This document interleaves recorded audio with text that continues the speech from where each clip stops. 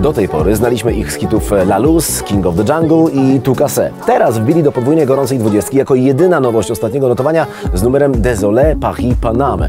Paryż w podtytule ma symbolizować dzień, Panama, noc i tajemnice. Nie jest tajemnicą, że lubicie Szangaj, można się więc spodziewać, że ten numer może w kolejnych notowaniach radzić sobie naprawdę nieźle.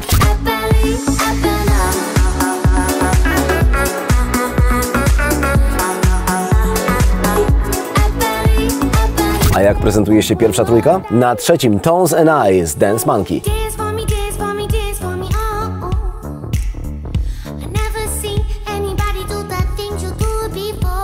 oh. Miejsce drugie Superhero od Vicky Gabor.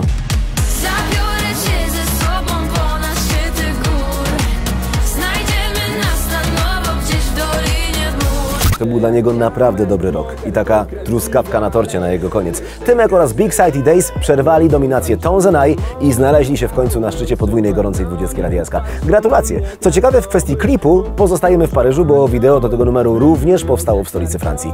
Kolejne notowanie eskowej listy hitów powstanie pod koniec tygodnia. Już teraz zapraszam w niedzielę po 16. Michu Sobkowski. Nocą tańczą demony,